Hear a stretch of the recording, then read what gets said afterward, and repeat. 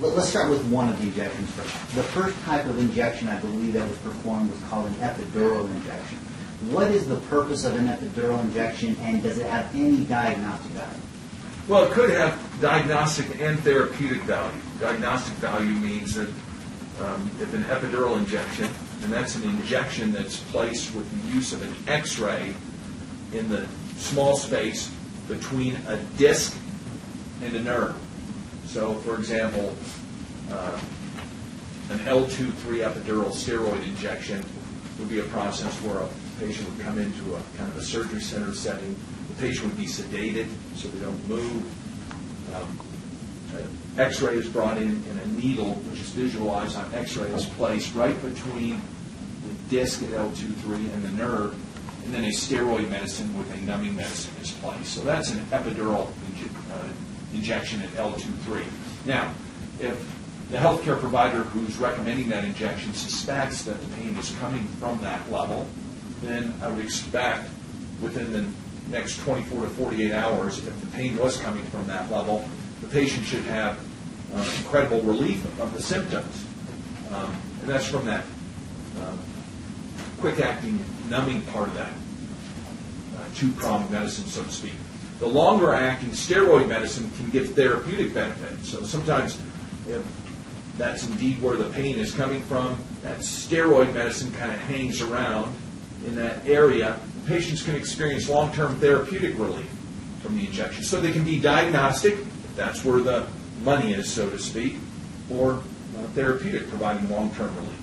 So it, it can confirm or not confirm whether a certain level is really where the pain's coming from. Yes, in, in certain circumstances it can. And so, for example, the other type of injection that was performed are called facet blocks. How is that different than an epidural? Well, if you remember those uh, kind of front to back slices we were looking at, so the epidural injection, the epidural space is the space where the nerves live. And then I kind of pointed out on one of those slices those facets that were enlarged. So the facet joints are the small joints behind the nerves. So similar to an epidural steroid injection, you can place a similar type of medicine inside the facet joints. Instead of the X-ray guiding the needle between the disc and the nerve, though, the X-ray is going to guide the needle into the facet joint, and then that's where the injection is administered. And the theory behind an injection there is that if the pain is coming from a facet joint, well, then you'd expect the injection in that facet joint to remedy the pain on a short-term basis.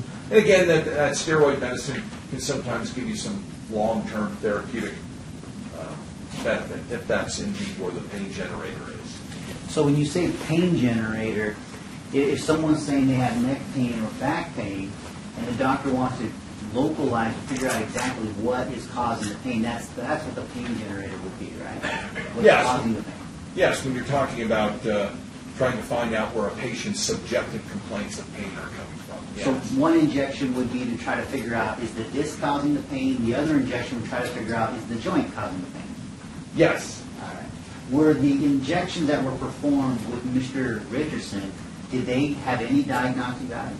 As I reviewed it, you couldn't make sense out of uh, injections. You know, it seemed like nothing really helped his subjective complaints of pain, whether he had epidural injections or facet injections. So they really don't add any any value as I, you know, Tuesday morning quarterback, uh, you know, reviewing the Monday night game, so to speak, as I review those injections and work backwards.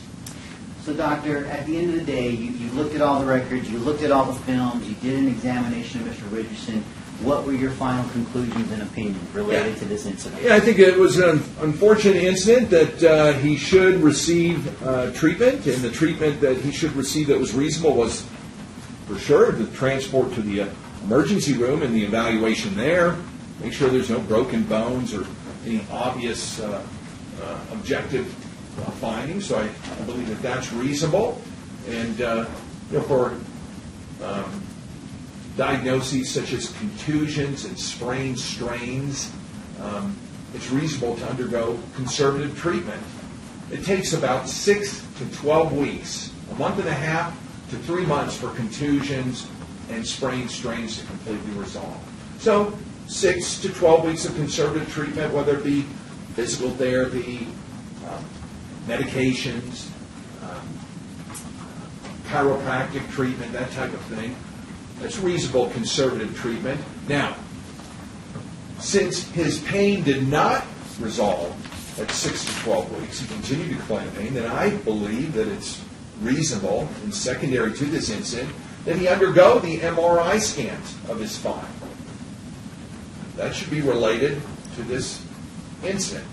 Now, the MRIs show no objective evidence of trauma. They show nothing that would add to the post-incident diagnosis, only pre-existing changes. So then, in my opinion, treatment as related to the incident occurring in June of 2015 should cease at that time. Any other treatment, I'm not saying you should withhold all treatment if he's complaining of pain. I think his other healthcare providers are trying to make him better, but that's related to these pre-existing degenerative changes that were there before. And that's my opinion.